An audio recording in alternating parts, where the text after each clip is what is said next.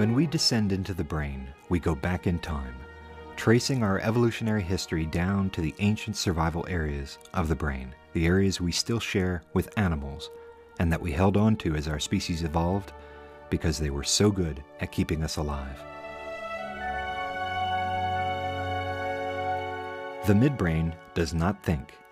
It does not make choices or understand consequences.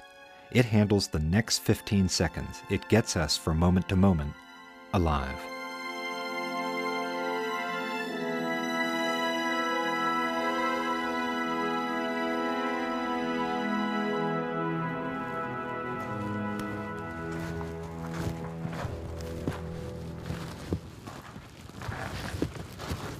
The midbrain tells us to eat. It tells us to defend ourselves, even kill. It fires our sex drive. These are all behaviors that are critical for survival. And to make sure we do these behaviors, the midbrain makes them pleasurable. Ordinarily, the frontal cortex keeps the midbrain in check. It exerts a top-down control over the unconscious survival impulses of the midbrain.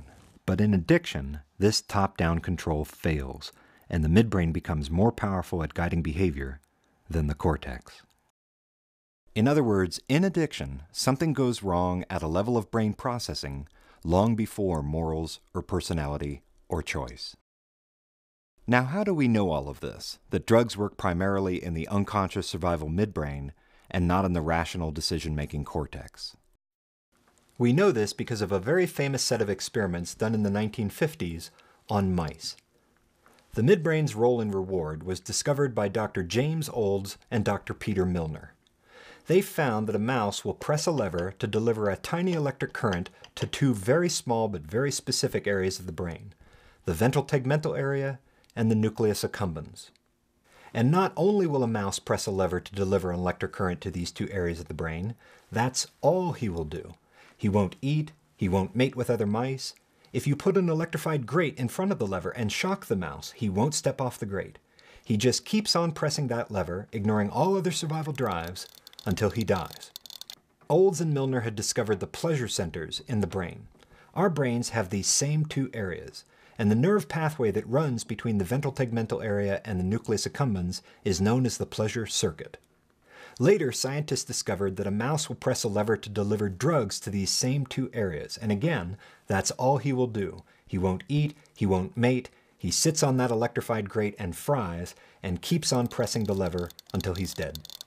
So mice can get addicted to drugs, big deal. Well, think about it. Drugs produce a very powerful, rapidly fatal addiction in a mouse. A mouse has no personality. A mouse does not weigh the moral consequences of pressing the lever. There are no mouse gangs selling drugs to other mice, and yet, mice can still become addicted. Studies like these dramatically weakened the idea that addiction was caused by bad morals, or a personality disorder, or a bad social or family environment. These things might accompany addiction, but they cannot be the cause of addiction. These mice studies showed that in addiction, the drug hijacks the survival mechanism of the midbrain. Now the drug is in the number one survival spot. The solution to starvation is no longer eating, it's the drug. And the relief from being burned by an electrified grate is no longer in simply stepping off that grate. The relief is in the drug.